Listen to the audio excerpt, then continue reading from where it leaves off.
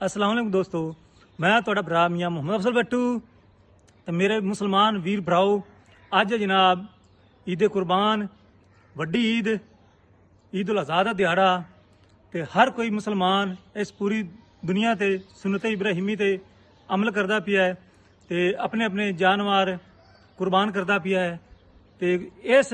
ਕੁਰਬਾਨੀ ਦੀ ਮੁਨਾਸਬਤ ਨਾਲ ਜਿਨੇ ਵੀ ਮੇਰੇ ਮੁਸਲਮਾਨ ਵੀਰ ਭਰਾ ਹੈਗੇ ਨੇ ਇਸ ਦੁਨੀਆ ਤੇ, ਜਿਨ੍ਹਾਂ ਨੇ ਆਪਣੇ ਰਿਸ਼ਤੇਦਾਰਾਂ ਨਾਲ, ਆਪਣੇ ਦੋਸਤਾਂ ਨਾਲ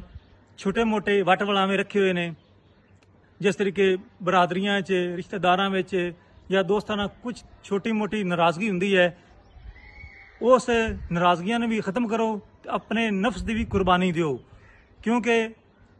ਅੱਜ ਹੈ ਈਦ ਦਾ ਦਿਹਾੜਾ ਤੇ ਹਰ ਪਾਸੇ ਮੁਸਲਮਾਨ ਕੁਰਬਾਨੀ ਕਰਦੇ ਪਏ ਨੇ ਤੇ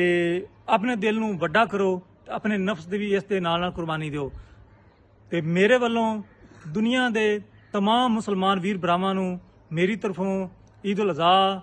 ਈਦ ਦੀ ਮੁਬਾਰਕ ਹੋਵੇ ਤੇ ਕਬੂਲ ਕਰੋ ਤੁਹਾਡਾ ਭਰਾ ਮੀਆਂ ਮੁਹੰਮਦ ਅਫਜ਼ਲ ਬੱਟੂ ਅੱਲਾ ਹਾਫਿਜ਼ ਪਾਕਿਸਤਾਨ ਜ਼ਿੰਦਾਬਾਦ